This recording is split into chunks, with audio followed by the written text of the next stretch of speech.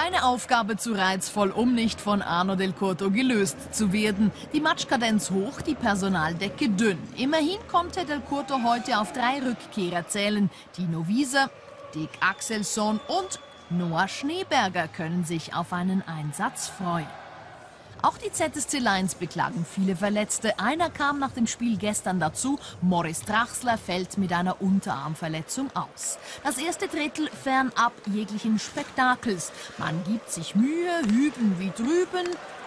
Hier Devin Setoguchi vom HCD. Tore fallen in den ersten 20 Minuten keine. In der Pause übernimmt in Davos die Hockey-Zukunft. Noch ein bisschen zögerlich im Abschluss, aber darauf lässt sich doch aufbauen. Rein ins zweite Drittel. Es geht los mit diesem rasanten Angriff der Bündner. Axelsson, Lindgren und Wieser am Werk. Axelsson versucht in Extremis. Niklas Schlegel bleibt unbezwungen. Weiter geht es mit einem Bulli vor Leonardo Cenoni. Blindenbach auf Nilsson und drin ist die Scheibe. Robert Nilsson, der Topscorer der ZSC Lions, ist also der erste Torschütze in diesem Spiel. Der Treffer fällt in der 25. Minute.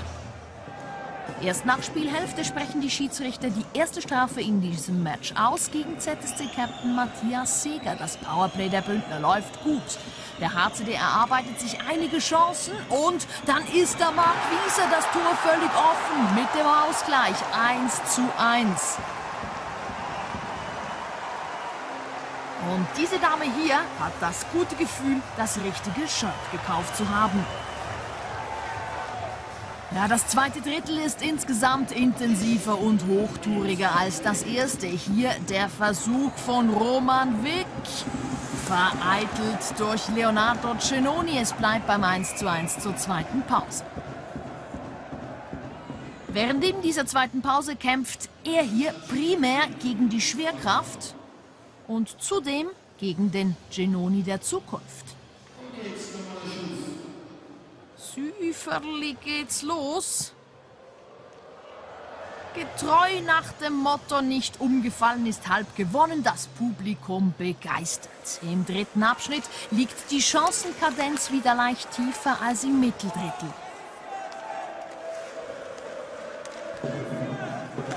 Hier taucht Matthias Seger plötzlich gefährlich vor dem Davoser Tor auf. Es bleibt aber beim Unentschieden.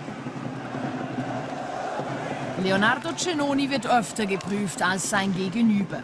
Hier versucht sich Patrick Berci aus der Distanz. Cenoni präsentiert die Scheibe im Fanghandschuh und hält sein Team so im Spiel.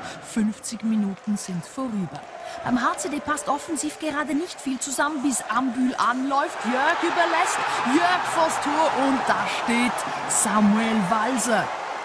Es ist die erstmalige Führung für den HC Davos, fünf Minuten vor Drittelsende. Walser musste die Scheibe in Schlegels Rücken nur noch ins Tor spitzeln. 2 zu 1 für den HCD.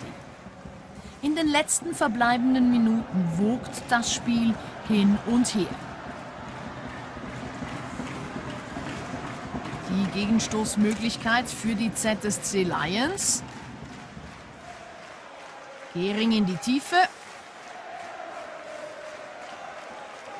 Sogleich geht's wieder in die andere Richtung oder doch nicht. Da haben wir Nilsson, der Bergeron sucht. Marc-André Bergeron. Auch er kommt nicht an Leonardo Genoni vorbei.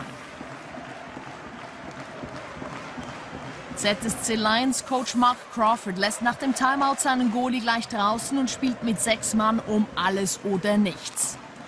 Schon wieder Bergeron, er versucht es mit einem Weitschuss, wieder nichts Zählbares. Die Emotionen gehen vor Genoni ein letztes Mal hoch. Für einen Zürcher Treffer reicht es allerdings nicht mehr.